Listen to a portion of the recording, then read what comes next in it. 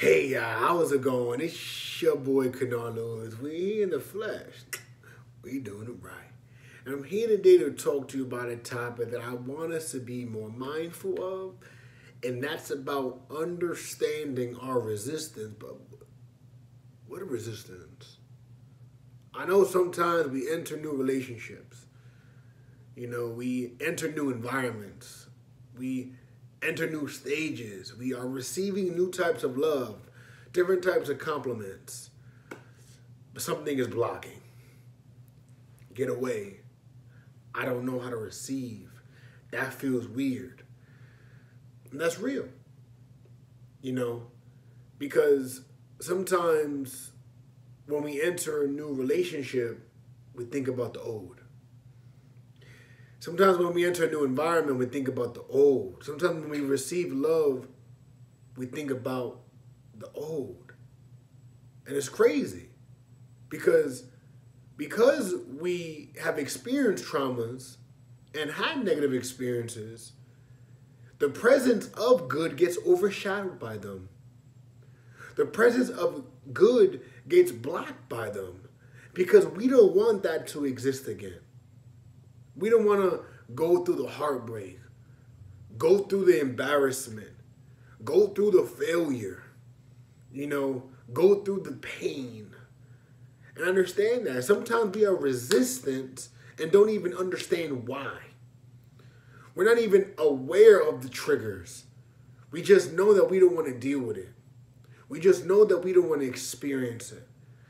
But I'm telling you, we can't be resistant to the good because we're afraid of the bad. Because the bad is inevitable, just like the good is. And I know another hard truth, right? As, as hard to accept. Well, what do you mean? I'm going to get hurt again? I'm going to fall again? Yes. But if your existence today doesn't show you anything, let it show you that you survived. Let it show you that even though you fell, you got up.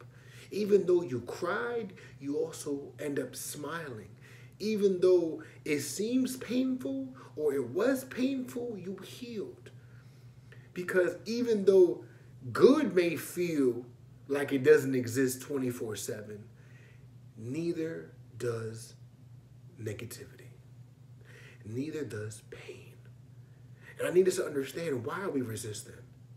It's like I got this compliment, I don't Sometimes we don't even believe. Sometimes we don't. Sometimes we experience the, the traumas and the pain so much that we internalize it. We think that yeah, this is what I am.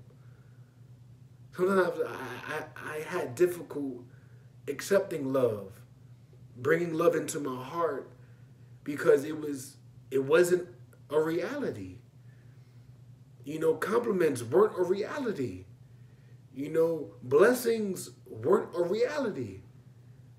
But we hurt ourselves by blocking our blessings.